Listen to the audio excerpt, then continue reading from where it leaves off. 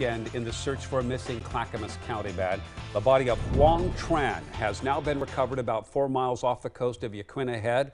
The husband and father disappeared after going on a sailing trip Saturday near Newport. Amy Frazier live at Franklin High School tonight in Southeast Portland where Tran worked as a school counselor. Amy? Well, tonight the principal here sent a letter home to parents. We wanted to share some of it with you.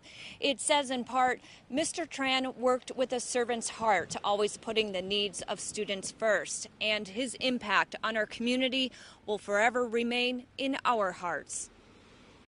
He was such a good guy, a good counselor, a good, just all rounded guy. As a longtime counselor at Franklin High School, 58 year old Hoang Tran was someone students looked up to, determined to help them succeed in school and life. He was pretty, was pretty great.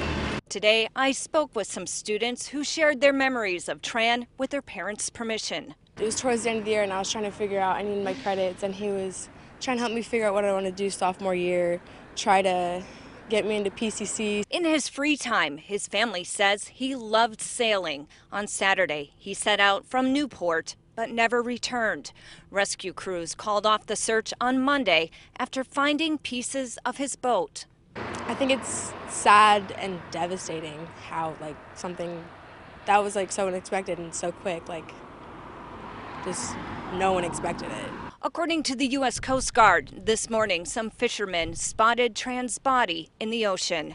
He was found wearing his life jacket. They've been um, doing grief counseling for, for his current students and they have rooms and people to talk to. Family members say Tran fled Vietnam in 1975 and met the love of his life in the Pacific Northwest.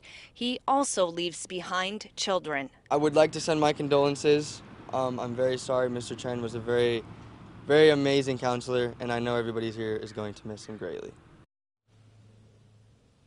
And investigators are still looking into exactly what went wrong on the sailing trip.